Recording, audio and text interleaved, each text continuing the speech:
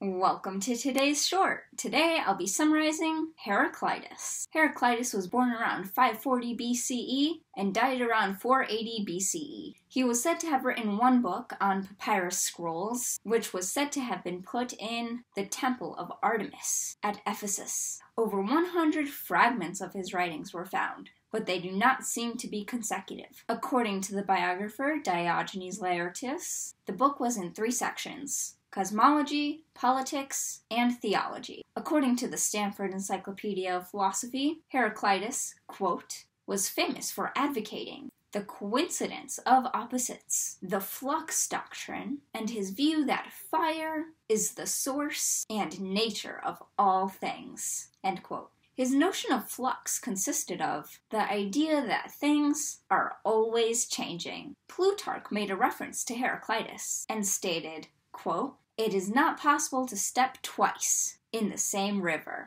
according to Heraclitus, or to come in contact twice with a mortal being in the same state.